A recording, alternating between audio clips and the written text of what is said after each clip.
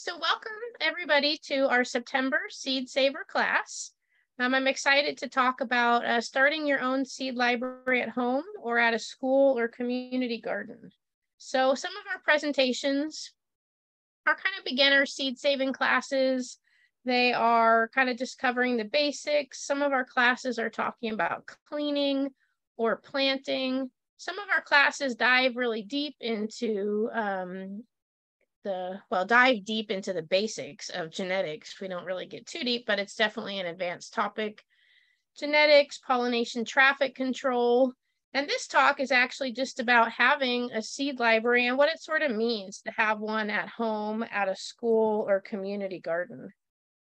One of the things that uh, is important in the Master Gardener program as part of the University of California is that we get research-based information out to the public and um, seed saving is a really interesting topic. If you've attended my other presentations or other presentations on seed saving, this may not be new to you, but uh, even though the University of California has a lot of uh, researchers and they study all sorts of different crops and, um, you know, all the life cycle pest management, best practices for farmers, all of that, then um, they um, don't have a lot of comp- compilations of seed saver information for the home gardeners. So when I first became interested in seed saving, it seemed like there was this big disconnect between the university, which has lots of information, but why couldn't I go to the university for them for home seed saver information?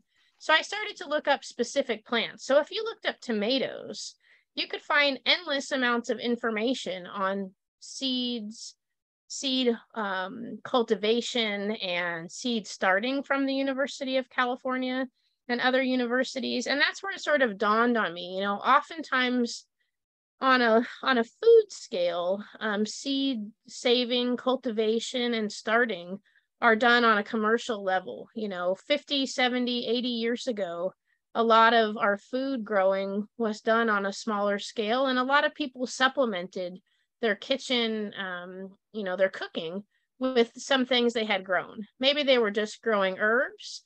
Maybe they had some summer vegetables, some lettuce, a few things, um, especially with foods that are hard to find, you know, fruits and vegetables that are hard to find. People would be growing those things um, as sort of like their specialty garden to add to their cooking. Um, but when you really look at uh, seed libraries and like, okay, we want to start a seed library, where do we find information? It's really interesting because a lot of the information that you find is provided by seed companies that sell seeds. And one of the most reputable ones, no, not reputable, but one of the most uh, commonly sourced and cited um, page is the Seed Savers Exchange in terms of uh, information on home seed saving. And you would kind of think, you know, if you're skeptically minded and you're like, why would these companies that want to sell me seed give me information on saving seeds? It seems sort of counterproductive to the seed um, business, right? If you're telling your consumer, like, look at the recipes for soda or certain hamburgers, it's like a guarded secret um, what is the special sauce, right? And they won't tell you. And seed saving companies will tell you exactly how to save seed. And that should be an indication that it's not always an easy activity. But I'm going to break down in this presentation sort of like where you can seed save and sort of look at maybe helping you define if, if you just have in your head, like, I'd love to have a seed library at home. You know, again, 80 years ago, I don't think anybody would have thought twice. And probably if you, you know, your grandparents were of that generation um, 80 years ago, then they probably had a stash of seeds somewhere around the house and they didn't call it a seed library. It was just something that kind of, uh, you know, many people had. If your family didn't have one, maybe an aunt or an uncle or a relative, a grandparent, something, but that was pretty common and it wasn't really a thing. So if you're thinking about a seed library, I like to sort of break down what the logistics and realities are of having one at home at a school or community garden. Um, and I forgot to put a slide in here, but this weekend we have a school and community garden collaborative workshop where we're going to kind of highlight a program. Um, and I'll kind of touch on elements of that program, um, seed library in every community program that the Master Gardeners are working on. I'll highlight that throughout the presentation. Before we go on any further, I'm going to um, just do a little bit of housekeeping and uh, share a little bit about our program. I have a short public service announcement and then we'll get right back to the topic. The presentation is being recorded. Feel free to ask questions as we go along, especially when it comes to seed saving. I really love there to be dialogue. You know, um, I don't know if who is on is a really experienced seed saver and would like to share wisdom, or if you just thought about seed saving when you saw this title on the website and you have no clue, all of these questions, all of these comments, all welcome.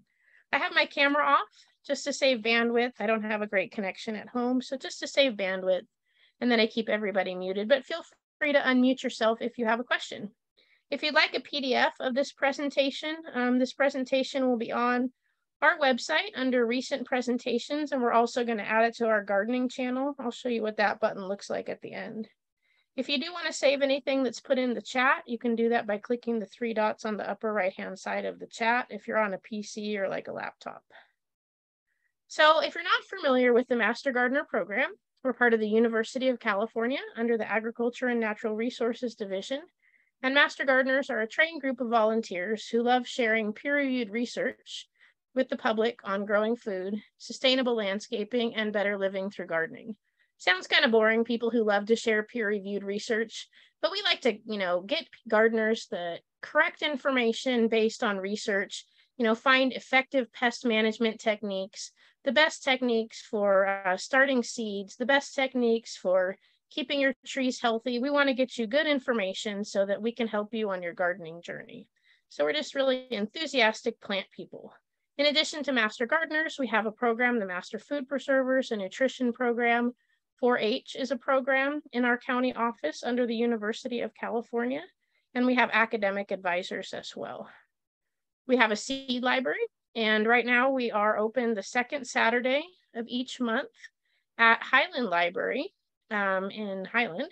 And from 11 to, oh, it says 11 to 2 p.m., but it's 11 to 1 p.m. Apologize for that typo. Then we are at the Highland Library. You can find that information on our website, and it's the second Saturday of each month. And if you need a reminder about when it is, you can find it on our website calendar. And we're also going to start one at the Ovitt Library. We haven't picked the day of the week, but we'll be there once a month as well, where you can come and get free seeds. We also have free seeds at information tables. So if you see us out there in the public, you see our Master Gardener logo, where it is, there it is, um, then uh, come check us out, check out our booth, and we probably have free seeds. The seeds are donated to us um, from organizations, and we'll talk about that in just a minute, and some of them are donated from the community. And then we also do these free seed saving classes on a wide variety of topics. As I mentioned in the beginning, some of them are really basic, some of them are more advanced. The Master Gardeners are always here to help. We have a helpline, and it's an email or a phone number. And you can call us or email us anytime with gardening questions from seed saving to pest management to what's wrong with my tree to what should I plant this week, um, how should I plant natives, uh, what's up with my soil, those kind of things. If it's a gardening question, give us a call.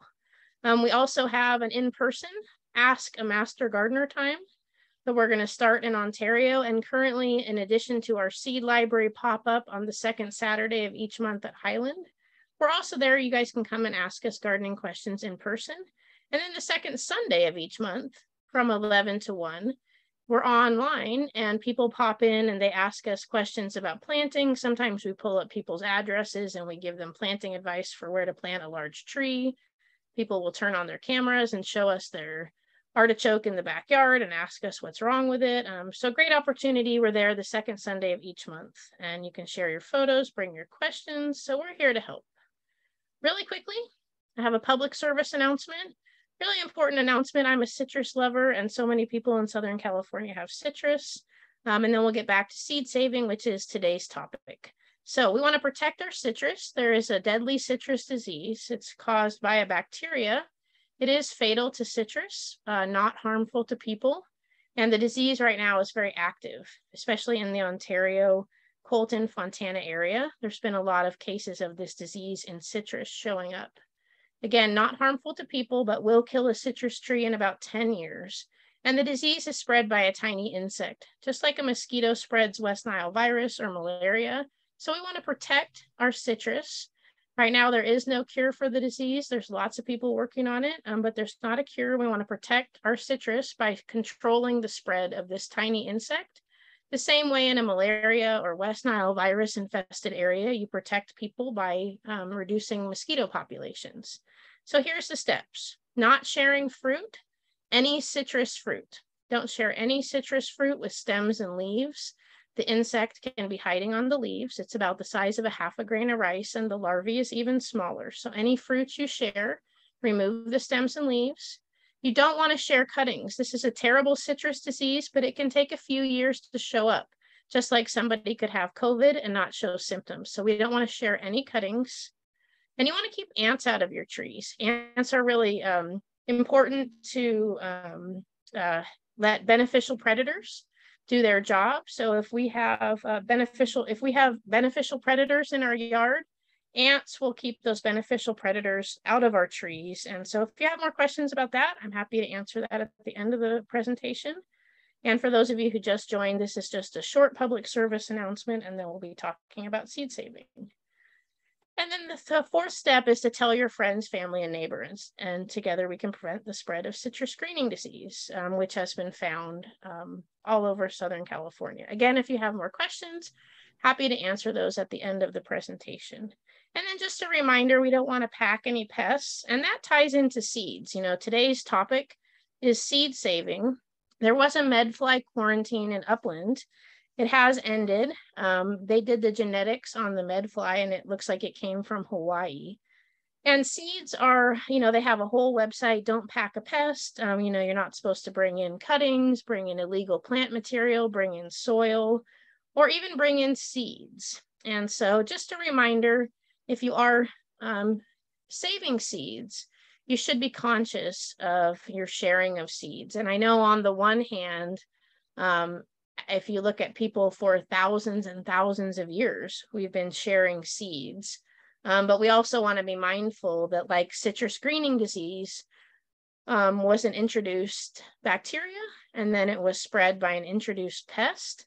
And so we sort of need to balance our urge to um, share seeds with the community um, outside, you know, you know, if we were to go to a foreign country or go to the East Coast, and um, we might want to be mindful of the fact that those seeds could potentially have pathogens on them that could impact the soil. Um, and to that note, um, uh, when we do save seeds, this is something I didn't really used to mention quite as much. But when we talk about cleaning seeds, and in a seed library, you want to clean your seeds, it's important to remember we're not trying to sterilize our seeds. We're not shipping them to a foreign country you know, if you purchase seeds in a foreign country or you travel with seeds and they need to be approved by the local regulatory agency, the Ag Commission or Customs, then those seeds have gone through some sort of sterilization practices to make sure that microbes in the soil um, are not going to harm other regions, right? And there may be a microbe in Southern California that's in our soil that has a check, you know, sort of the checks and balances are in place that maybe the weather um, you know, our soil being very sandy in some areas or our summers being very hot. Maybe that condition keeps the pathogen in check. But if we are sharing seeds, we may be introducing, um, you know, sharing seeds far away, we may be introducing a pathogen that may not have those checks and balances. It may not have a predator. It may not have something else like that. So if we are sharing seeds, important to keep that in mind. Um, but when we clean them, we're mostly just looking at removing the plant material and not actually sterilizing them with the idea that we're keeping the seeds pretty local. So with that, I'm just going to get back to our presentation today. If you have any questions about citrus greening, again, happy to answer those at the end. So let's talk about seed libraries at home.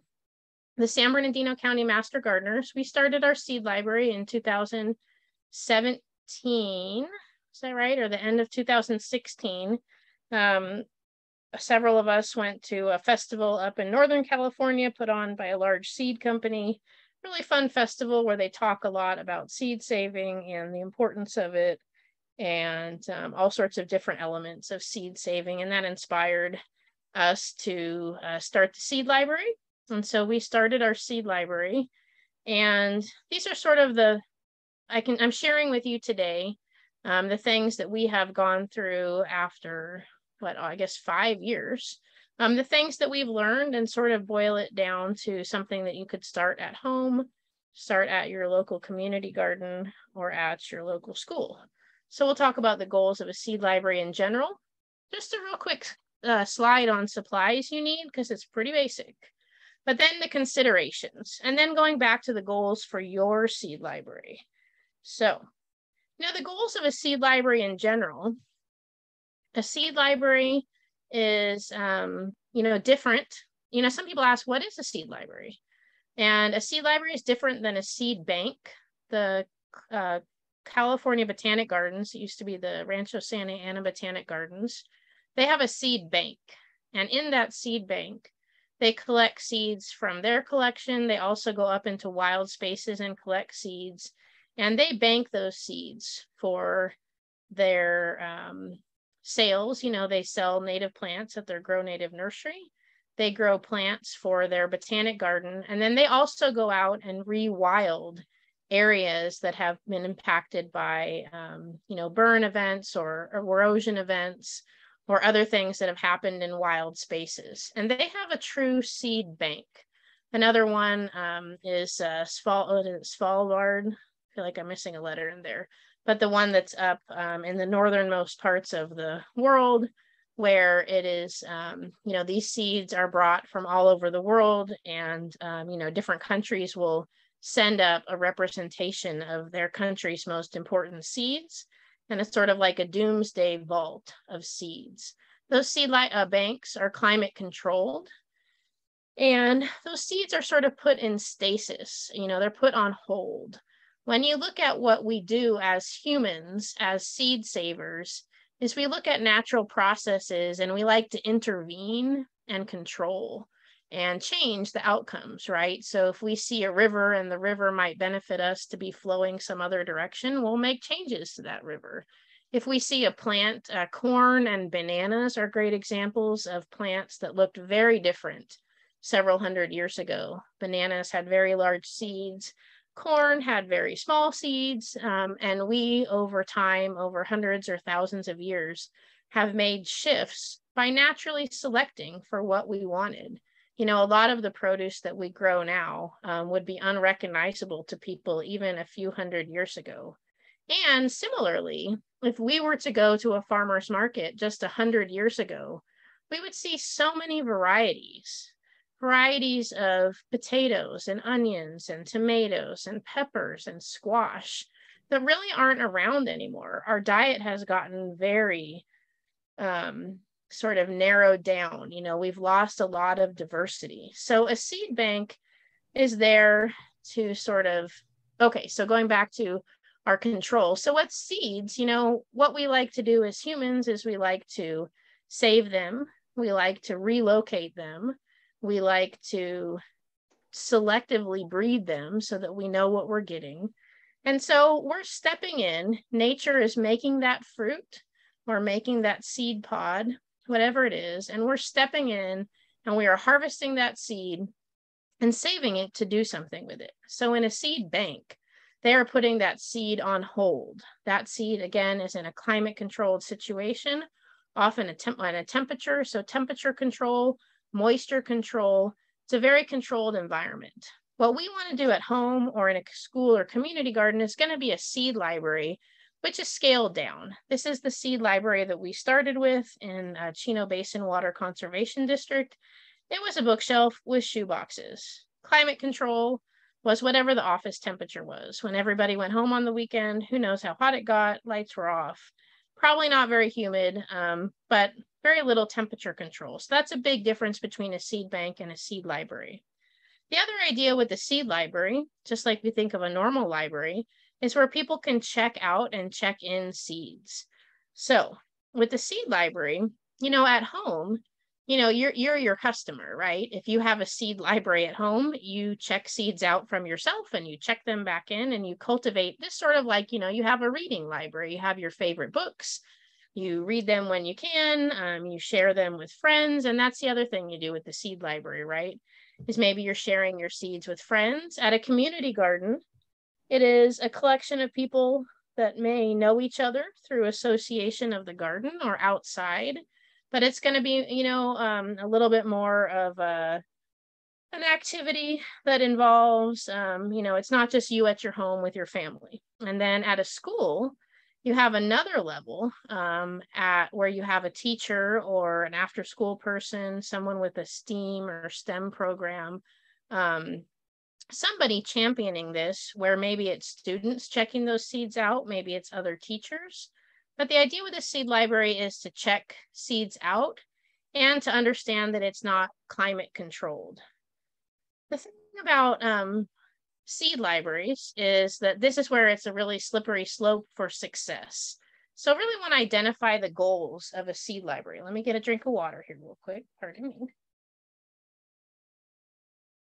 So you want to think what is the general goal of a seed library is to provide seeds for yourself. You know, and if you think about seed availability, um, I think all of us in the last eight, two years have really had a shifted perspective. I know that I have, have had a shifted, excuse me, perspective about something that's always been available, sort of realizing it doesn't take too many things in a series of events, like a chain of events, to then not have access. So if you remember the spring of 2020, it was actually pretty hard to find a lot of very common seeds because everybody was wanting to garden.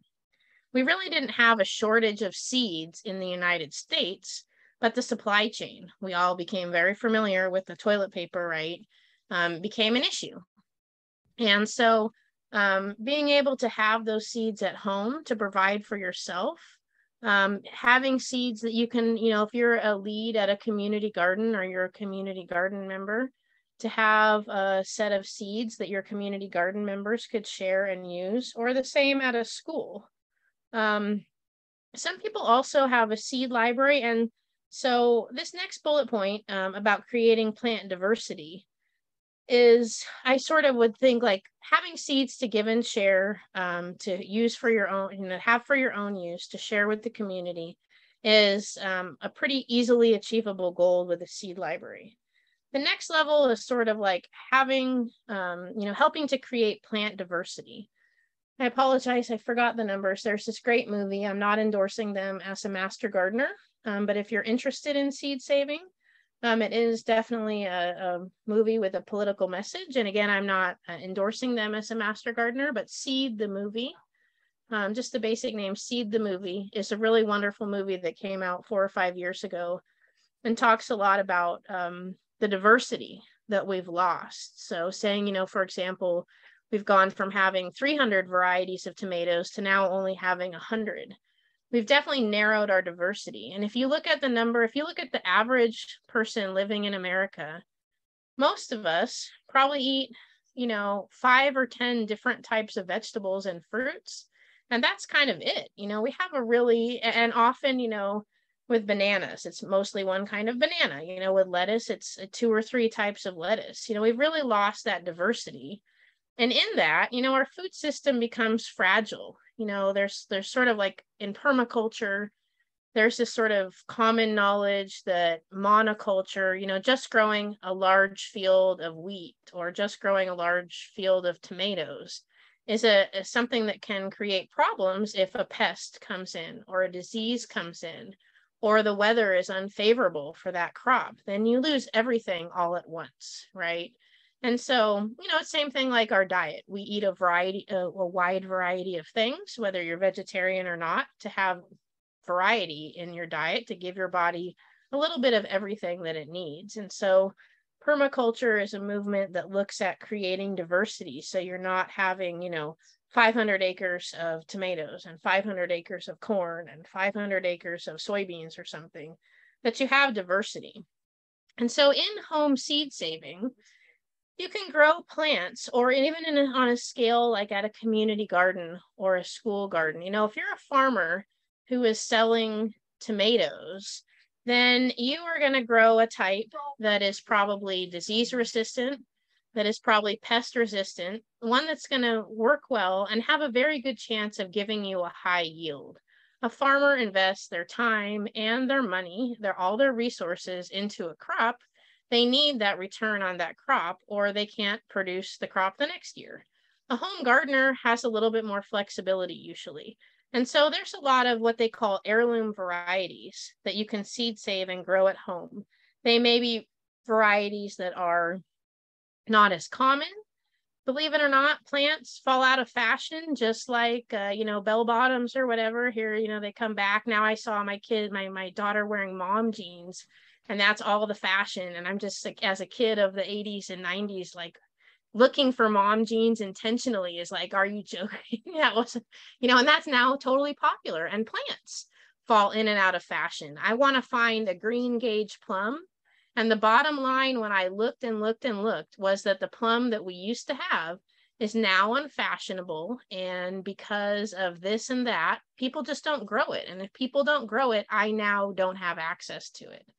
So varieties of tomatoes, varieties of produce that, you know, have been around for a long time. There is definitely a group of people in the United States and the world who are looking for those varieties that are unusual and trying to grow them out so we don't lose them. The thing about that is definitely something that any of us can do but it definitely requires a little bit more of a skill set to preserve a lineage. It's definitely something you can do, just have to have a little bit more experience. So that may not be the goal of your seed library, or maybe that's a future goal of a seed library. And then the next sort of goal is to make small steps towards seed sovereignty. You know, if you look at um, just like many companies in the United States, it is a relatively small handful of companies that, on a large scale, grow most of our seed. And even if you look at the small companies, the quote unquote small companies that grow seed, that's actually a relatively small group of uh, people as well. And if you go back 100 years, each valley, each community would have seeds. And, you know, we don't want to sort of look through the apocalyptic lens, but it's always good to be prepared and having a seed library at your community garden gives you a little bit more independence, right? Having a seed supply at home gives you a little bit more independence. Having a seed library at your school, a little bit more independence. And so think about the goals. And I like to look at these three goals as maybe building on each other as the seed savers get more experienced.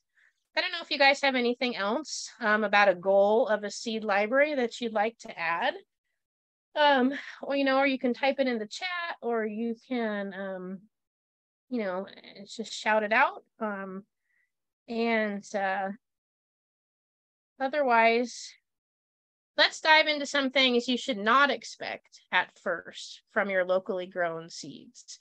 It's important to have realistic expectations. Now you may have and and this is a good thing to think about if you're at a school or community garden um, in a lot of the networking that I do, I'll find partners throughout San Bernardino County that are working on very similar activities that I and my programs are. And I'm like, wow, we're doing almost the same things. We should connect. So if you are considering starting a seed library outside of your home in a school or community garden, you might want to just sort of ask people what kind of seed saving experience they have um, you would be surprised. I'm always surprised at people who are like, oh, I've been seed saving broccoli for 25 years. That's a really hard thing to do.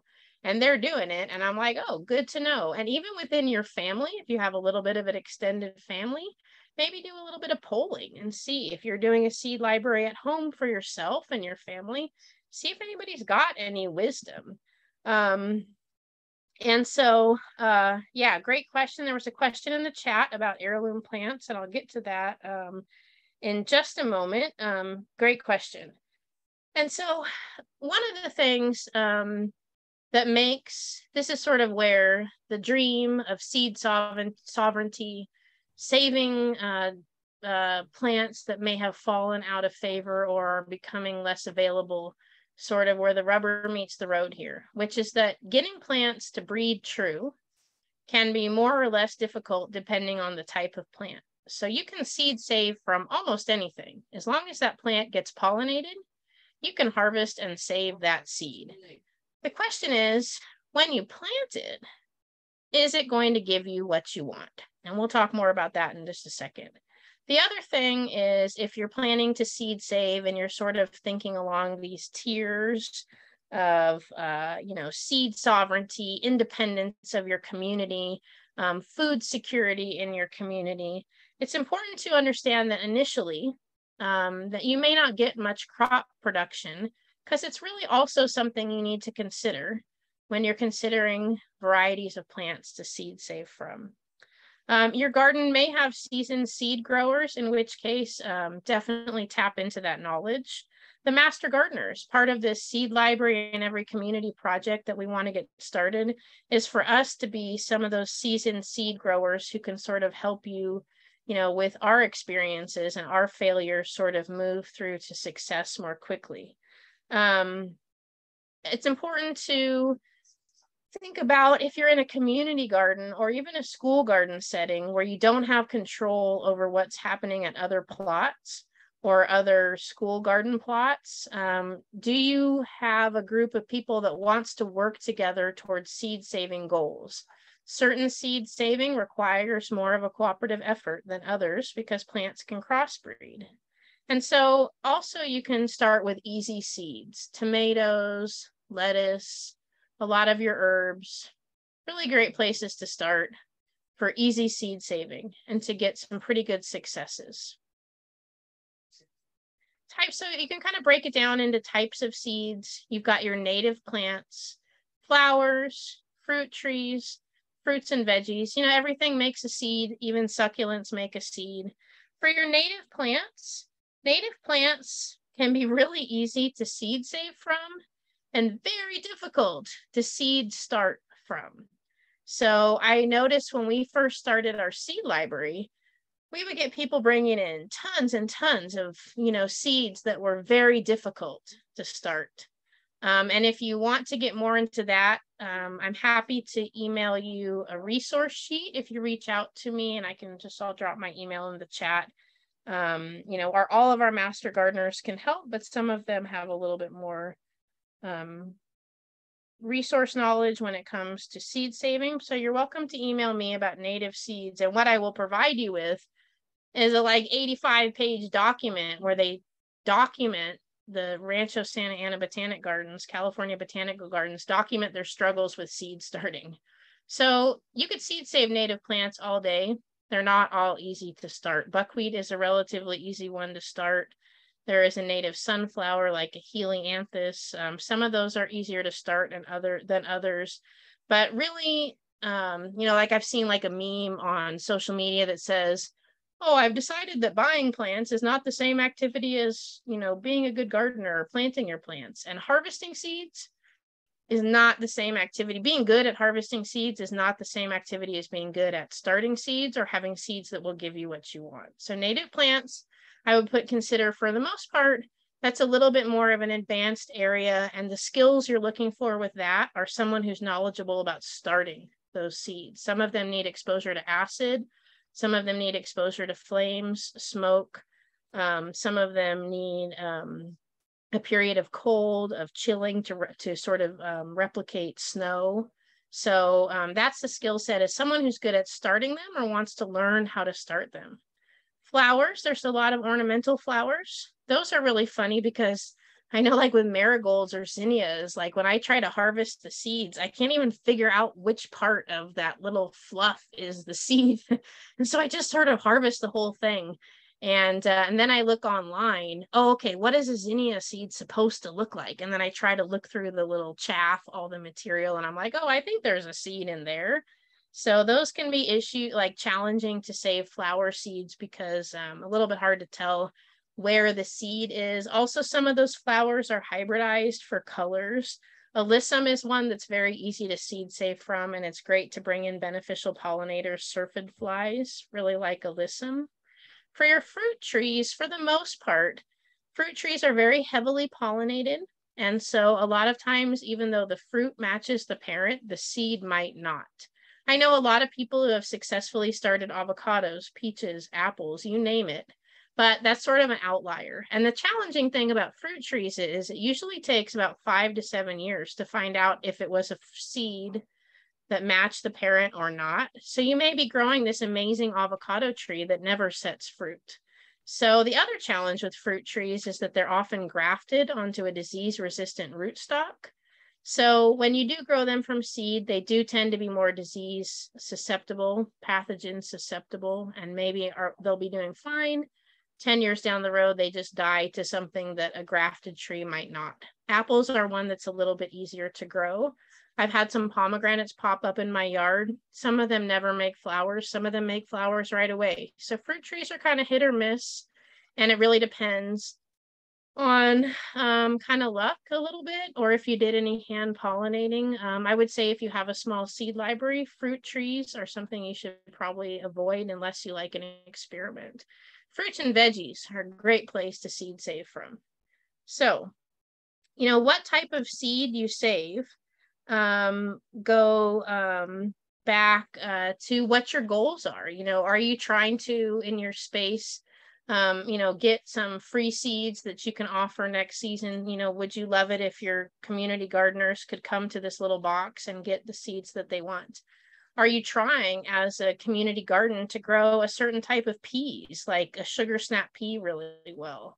And then maybe you guys all agree to start with a certain variety of sugar snap peas so that they don't crossbreed too much, although they are self pollinating. And then you can save those. Um, other things to consider, and I just want to jump over to two other presentations. We have this one presentation, this can be found on our gardening channel, and this one is called Pollination Traffic Control. And this is a really important thing if you are growing your own seeds to save at your own seed library. This is something you really need to understand on a basic level. This presentation, we do this every couple years or so maybe once a year. It's also on our YouTube channel. I'll show you where that is.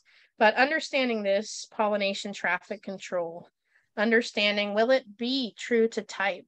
Will it be, um, you know, is this a hybrid plant? There was a question in the chat about an heirloom variety that I mentioned that a lot of people think of as being an old timey variety. Heirloom is sort of like the word organic, it has different meanings depending on how you're using it. But generally, heirloom is like an old plant. It's a plant that is open pollinated, but it gets more complicated than that because open pollinated plants can be hybrids. So we don't have time today to go into this, but this is a really important piece of the puzzle if you're growing your own seed at the seed library. And then the other thing is like this is a presentation that we were going to do last month on seed saving for your summer fruits and veggies.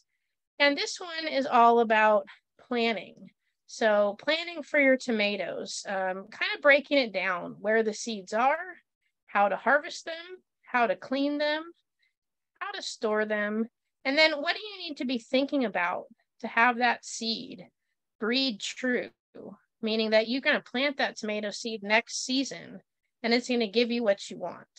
And this is where so many people struggle. So if we go back to this presentation, um, then we'll skip ahead for just a second to the supplies you'll need, and then we'll go back to this topic. I don't know if you guys have any questions.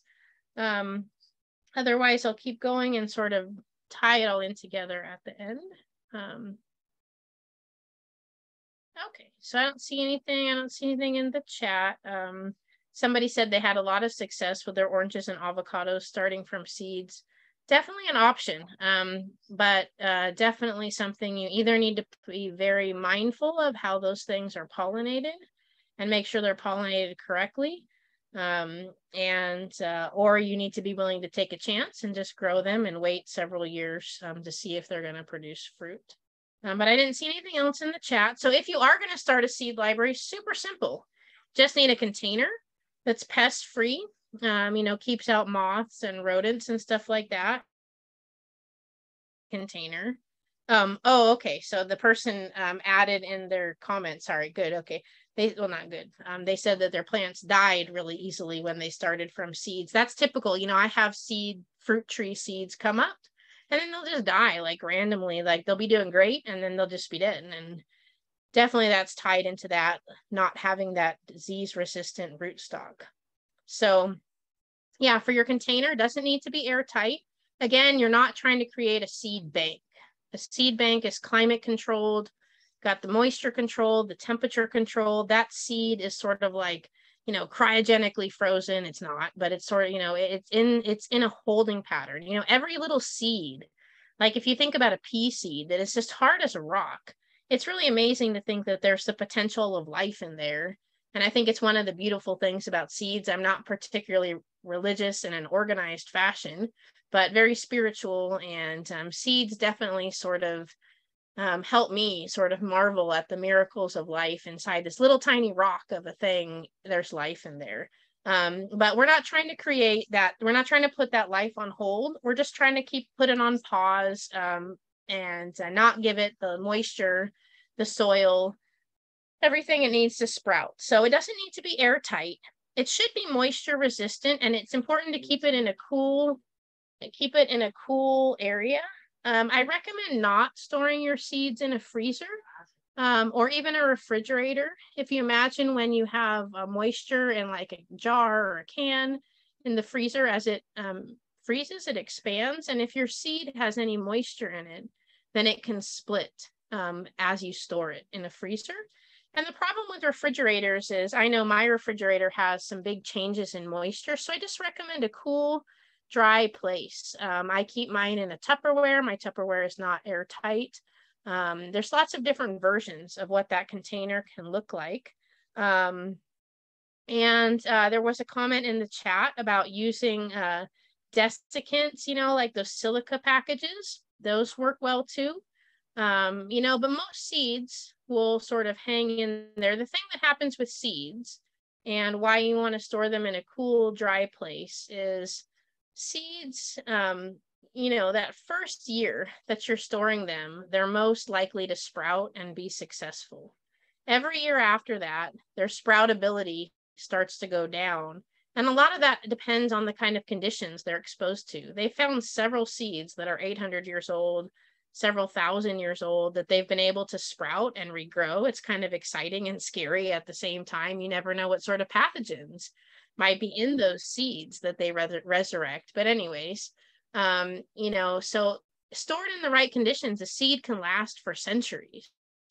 But if they're exposed to moisture, if they're exposed to too much heat, if the genetics are not really strong, then the viability goes down. So, and I don't think I have a note in here, but one of the most important things with seed libraries is you're not growing that, you're not storing these seeds again, like in a bank where they're going to last forever you're going to be trying to regrow them every year, every couple of years.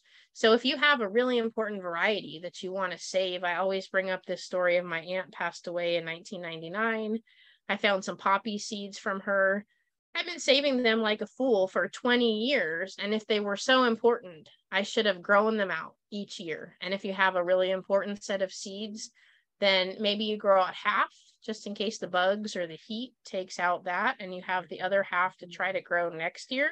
So if you are getting into the arena of trying to preserve diversity, we had a, a master gardener who had uh, at a community garden in Rialto, and there was a, an abandoned plot, but it was a plot that was managed by this old gentleman or woman who was a longtime gardener. They had these amazing squash, and this squash grew without any watering, without any care they started saving that seed. They were about five generations or five years into seed saving it.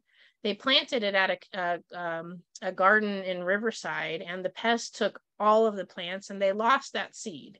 So, as you're saving them, you want to grow them out, but also always save a few on the side just in case if it's an important variety of seed.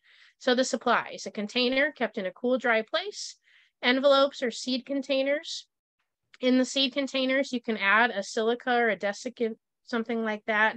But the idea is not to put those seeds into storage until they're fully dry. A lot of people, when they're storing seeds, you have dry seeds, and dry seeds are the seeds that are dry on the plant. Think beans, think flower seeds, think things like that. Seeds that are wet on the plant are in a, some sort of fruit. Think a berry, think tomatoes, think squash. Those ones that are wet inside the fruit, you want to make sure they're fully dry and they're snappable. They're hard before you store them. And that's, you know, the silica packet won't take enough moisture out to make up for that. So before you do put them in the container, And we have presentations on how to do this, and we do presentations throughout the year on how to do this. Um, so that's important and important to have labeling materials. Labeling and tracking are so important to watch the success of your home save seeds grow and to find out where you're having problems. I've saved seeds where every year I save peas. And every year it made less and less fruit till like the final year I had this big vine and no fruit. I was saving a bad line of peas that probably crossbred with something else and it made it unproductive. Um, so labeling and tracking is important. And then maybe index cards, like thinking about a way to organize them by family, by season, something like that. You also need seeds, right? Seeds, and these could be from the your own garden at home, at school, at the community garden, or they could be donations. And if you are growing seeds from your own garden, I brought up a lot of challenges you might have. Will they be viable? Viable means will they sprout? You know, were they properly pollinated? Are you going to get what you're expecting? Was it pollinated by the right plant? Are you trying to crossbreed, uh, you know, kale and Brussels sprouts and make Kalettes? Or were you really hoping for Brussels sprouts? Are you trying to crossbreed hot peppers with bell peppers and get a spicy, weird bell pepper? Maybe that's what you're trying to do, but this is one of the challenges, especially in a community garden setting where people might not all be on the same page. Um, you want to know is um, is it um, are your gardeners in the community garden are they concerned about breeding true? Are you going to get support? Do you need to focus on things like lettuce which are pretty good at breeding true and pretty easy to harvest from? I've had a lot of success with seed saving lettuce at a school garden um, easy for the kids to harvest easy to grow and um, it's really cool when you have a kid who's in fifth grade growing a seed for their sibling who's in first grade, right? Um, same thing could be done in a community garden. So picking plants that are self-pollinating and easy to seed save from. And we talk about those in our different seed saving education um, classes. Um, and do your gardeners, you know, do they want to invest in this activity and experiment? And do they want to see what they can get? Do you guys all want to agree that this year you're going to seed save peas and everybody grows the same type of peas. Are you all going to grow different peas and you're just going to see what happens? Um, those are some options. But another thing you can do for a seed library to create some of those things we talked about, where you're saving some diverse varieties, where you are um, uh, getting a little bit of seed sovereignty or independence for your school, community garden, or yourself. Um, and you know not for yourself you're not probably getting donations. Um, but schools and community gardens there's a lot of companies that will send free seeds to schools and community gardens. And one of the reasons is you know it's a goodwill activity but also seeds on a seed packet they're required to have a certain percentage of sprouting or germination rate so if the germination rate is supposed to be 92% that company has to guarantee that 92% of those seeds will grow. You know, on the one hand, that's good because a company could sell seeds where 5% will grow and they're basically junk. You want to have some accountability. On the other hand, it means that at the end of the season, because they don't know how the seeds were stored, because they don't know what kind of heat they were exposed to, because of different conditions, and different types of plants have different longevity, some better than others, then basically at the end of the season, they need to get rid of those seeds. So we get seeds. Um, one of our master gardeners is really great at getting seeds from one of the larger box stores that essentially they would toss out because you know they have seeds packets that are unsold and they can no longer guarantee that 92% or whatever it is will sprout maybe only 70%. So maybe instead of nine out of 10 sprouting, seven out of 10 will sprout. Um, so a question we get a lot is, do seeds go bad? Seeds can go bad and that they won't sprout, but there's no harm in trying to plant them. You're not going to get a bad plant because something has happened to the seed. Also, most diseases don't get transmitted through seeds. There are a few viruses and a few pathogens that can get through seeds, but for the most part, seeds are a relatively safe activity at home and not to be concerned about too much um, pathogen um, crossover.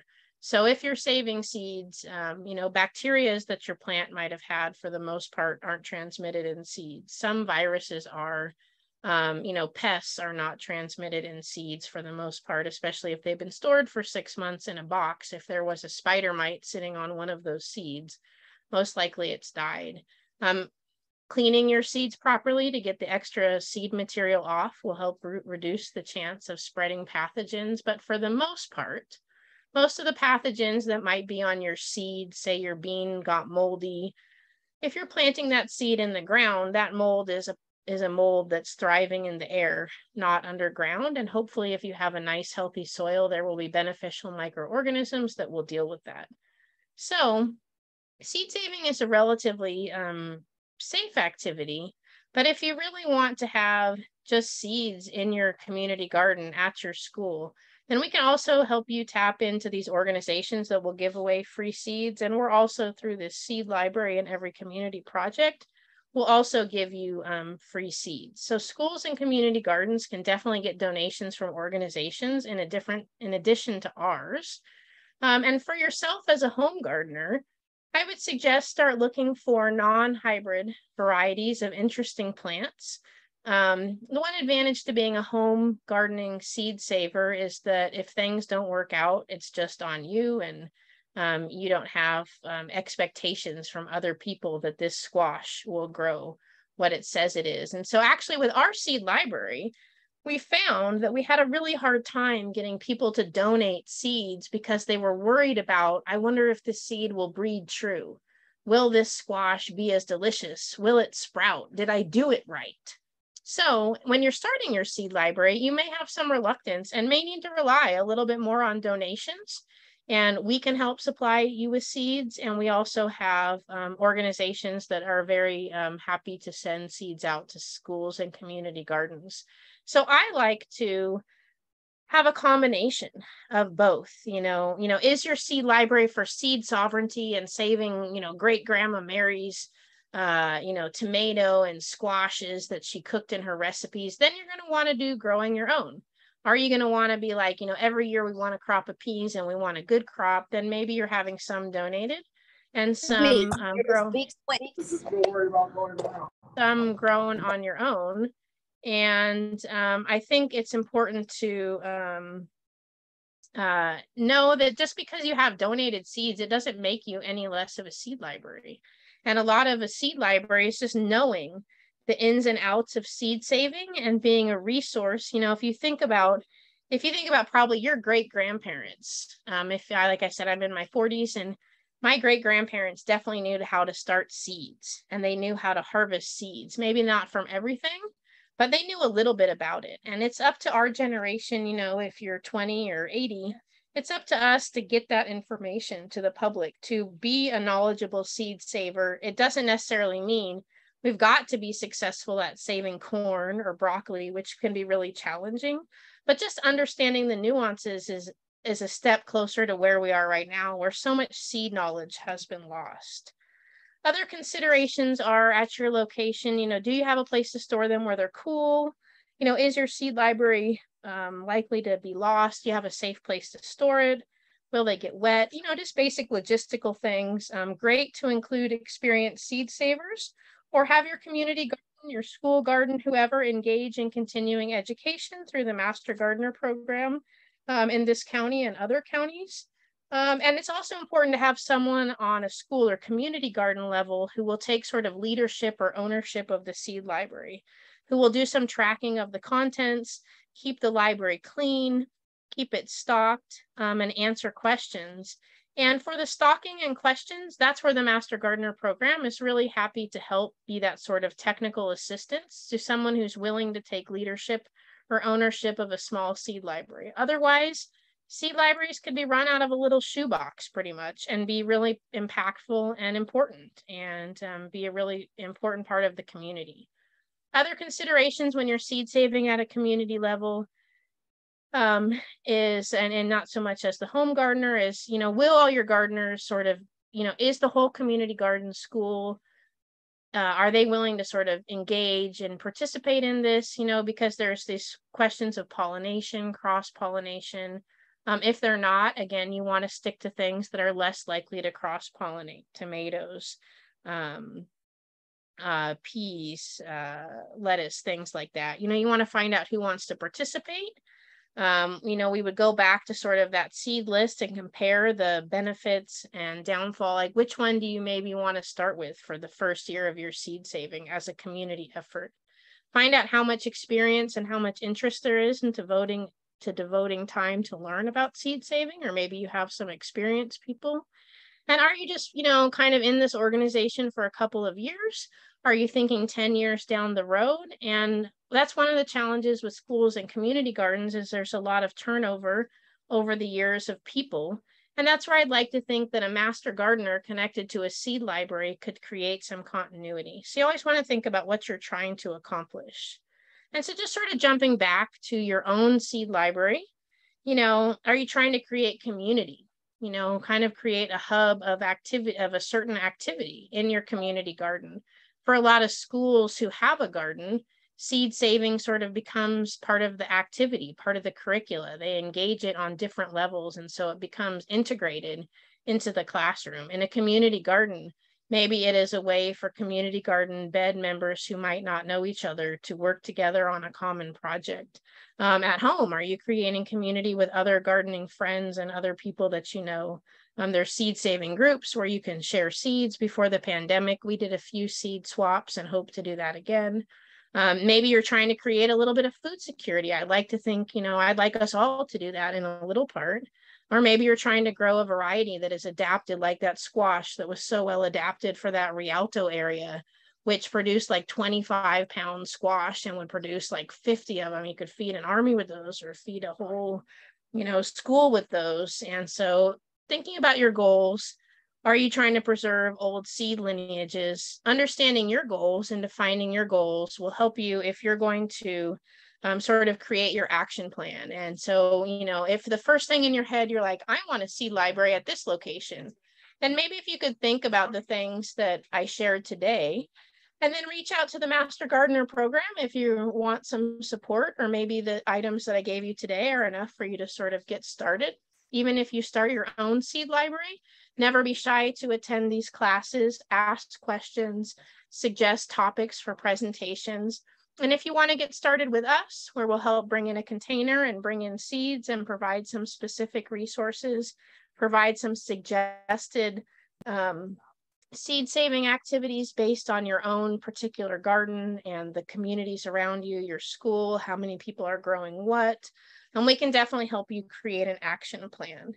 So I have a, a pretty good list of resources um, that really dives deep into a lot of the logistics of home seed saving. Those are posted um, on our, I'll go back to that in just a second. Uh, on that home page, um, you can find them under recent presentations under um, on our YouTube channel, this is our YouTube channel, you can find a number of seed saving presentations. You can also go to our website and in the upper right hand side, you can click on gardening videos. There's the pollination traffic control, seed saving, um, seed cleaning, a lot of different topics there. And each month we do a seed saving topic. You could sign up for our newsletter, see where we are and what we're up to. And if you have any questions, reach out to the Master Gardener Helpline. Um, so I hope that this was informative to sort of help you decide if a seed library is something you'd like. Um, hopefully it takes a little pressure off thinking that you need to like, oh, if we're going to have a seed library, then we need to grow all these seeds to save. I think that's a part of it. And I think also just sort of creating a collection of um, purchased or donated seeds from the Master Gardener program or another one is a great place to start a seed library and to start engaging your gardeners if you're at a school or community garden. So if you have any interest in our program, you can reach out to our helpline. You can email me at my email that I put in the chat. And um, what we'll do is we'll sort of, uh, we'll set an initial meeting to talk about your goals. And then if it's at a school or community garden where you want to do some seed growing and seed cultivating of your own, we can come out and sort of do an assessment and we can donate seeds to you. We can help if you want like a little free seed library or you just want a Tupperware, we can help with that. And then we'll be here to answer your questions. So I think that's it for me. Um, I'm going to go ahead and stop recording. And I thank you guys so much for joining today. And if you have any questions, I'd be happy to stay on for a few minutes.